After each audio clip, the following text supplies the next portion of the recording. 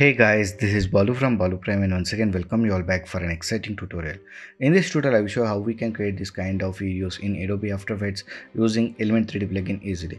So hope you guys will find this tutorial useful but before going to that if you end up liking this video, please click on that like button to share this content and if you are new to this channel, consider subscribing my channel and support me. And by the way, if you like short 3D simulation videos, you can check out my second channel, link in the description. So now without any further ado, let's start today's video. So here we are in After Effects. Now let's start this by importing our footage onto this project panel. So for that right click on this project panel, import select your file or else you can directly drag and drop your footage onto this project panel.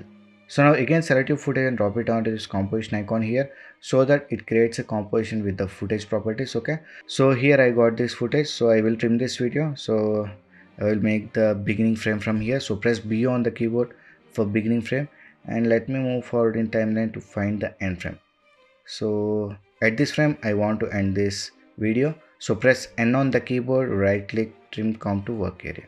So now let's track this footage first. So for that select this footage layer in timeline go to this window and enable tracker from here and click on this track camera. So it starts analyzing our footage and gives us some tracking points when it is done. So here you can see our tracking is done and we got some track points here okay? So now let's hold left mouse key and select all these track points here like this and now right click and create solid in camera. So here we got a solid created. So now if I press 0 on the keyboard you can see we got this track solid. Let me reduce the scaling. So press S and reduce the scaling here like this and let me see this. So now you can see this track solid is following this perspective change everything here. Nice. So let me apply grid effect. So let me go to this effects and presets and let me look into grid. So let me select this grid and drop it onto this track solid. This is not necessary. Just to check the tracking i am doing this one. So now if i play this you can see our track solid is staying in its position firmly. Nice. So now let's create a solid layer for element 3d so go to this layer options new create a solid.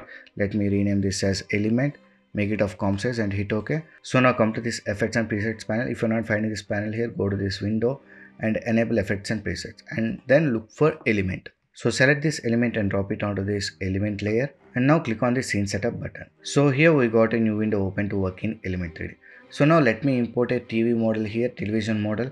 So go to this import and let me select the file. So this is the model and import ok so alignment let be from bottom so that our model comes above to this grid and hit ok. So here we got our model. So now click on this normalize size. So you can see we got our model here. So now right click aux animation set it to channel 1 so now let's change the environment. So here i got a screenshot of the same video. So actually we need a 360 image. So since i don't have that image i will be using a screenshot. So let me go to this environment and let me select that image. So here i got the screenshot of this video. So i'll select it and open. So it will be updated here so now if i click on this environment tab we are in the same environment here. Nice. So now let me hide this one and click on this ok button. So here we got our 3d model. So let me move to the starting frame here. So here we need to copy the position of this track solid to this element. So before to that let me select this element layer. Come to this group one. Since it is in group one we need to work in group one so come to this create group null and click on this create button so here we got a group null created so now we need to copy the position of this track solid to this group null. So select this track solid, press P on the keyboard, select this position values, go to this edit, copy, select this group null, press P on the keyboard, select this position and paste. So now we got this TV model set to that position. Now we need to adjust the position scaling. So let me hide out this track solid, select this element layer. So this is in group 1 aux channel 1 so we are in group 1 come to this aux channel aux channel 1 now let me increase the scaling and let me rotate this here. So i will rotate this here in y-axis and position. Let me place this here. Okay. So if i move forward in timeline here we need to adjust the z-axis. So let me change the position of z-axis here like this. And also let me increase the scaling.